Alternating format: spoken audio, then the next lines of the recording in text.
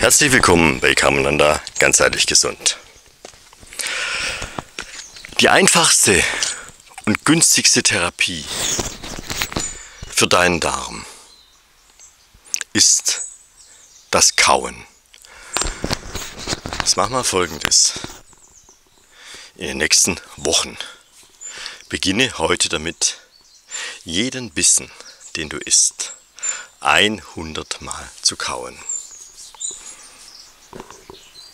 Wenn die Nahrung dann so verflüssigt ist, dass quasi nichts mehr im Mund ist, dann kannst du auch nach 50 Mal kauen aufhören. Aber nimm dir vor, jeden Bissen 100 Mal zu kauen. Und dann schau, was passiert in den nächsten drei Wochen. Du wirst erstaunt sein. Es ist ein Balsam für deinen Darm und für deinen gesamten Körper. Mach noch folgendes, trink auch noch genügend Flüssigkeit über den Tag und dann schau mal, was passiert. Man nennt dieses intensive Kauen, dieses langsame, bewusste Essen auch Schmauen. Schmauen. Da kannst du auch mal nachgucken im Internet. Also, das war ein ganz kleiner Tipp von mir heute.